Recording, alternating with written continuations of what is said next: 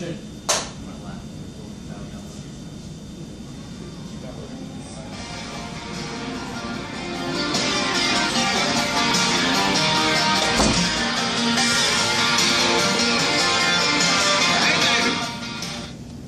Here we have the uh, Mountain Man backpack.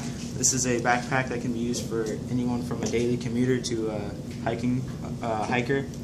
Um, we have first our uh, 5 watt solar panel, which charges our uh, 6,000 milliamp hour battery.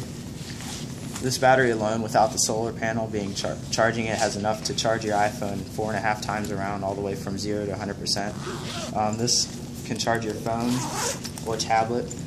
Um, we have our pocket here to, for charging and playing music.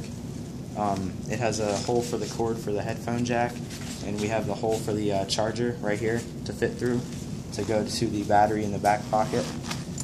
Then we have um, that also power. The uh, battery also powers our uh, two three watt speakers. It's powered by a six watt amplifier.